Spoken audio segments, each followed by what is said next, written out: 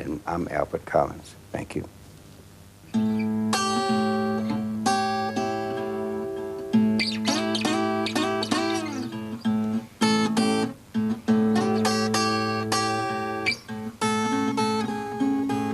then we in blues we got to D. And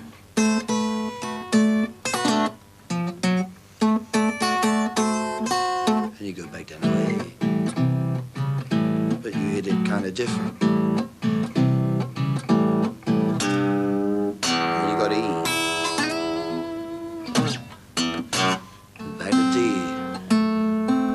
Got A. And then you got the blues. Hey then.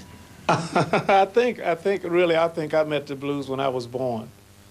But uh, uh, to remember, as long as I can remember, I, I, I don't guess I know what the blues was, but I, I would take rubber bands and things and try and make some kind of noise out of it. Anything I could stretch tight enough to make, make noise, I, I did that. And from the day one when I heard a guitar, I was like, whatever that is, uh, that's me.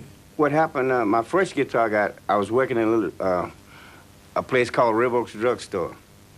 And my first hollow box guitar, electric, was uh, Epiphone. And the, the people at the drugstore bought this guitar for me. And then I had to work every week and pay them back, you know. That's how I got my first guitar, you know. But I think before that, you, you had some homemade guitars. Yeah, well, I had the first, well, that was, you know, made out of cigar box.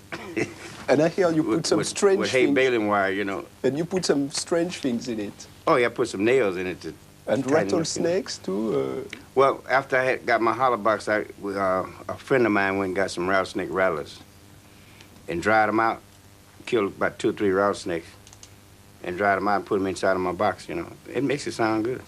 My first guitar was a, a guitar made by a company called Harmony, and it was an acoustic, and it was called the Sovereign. And I kept that for maybe uh, a matter of about three weeks. Because I wanted a, an electric guitar. If you don't know the blues, you can't play rock and roll.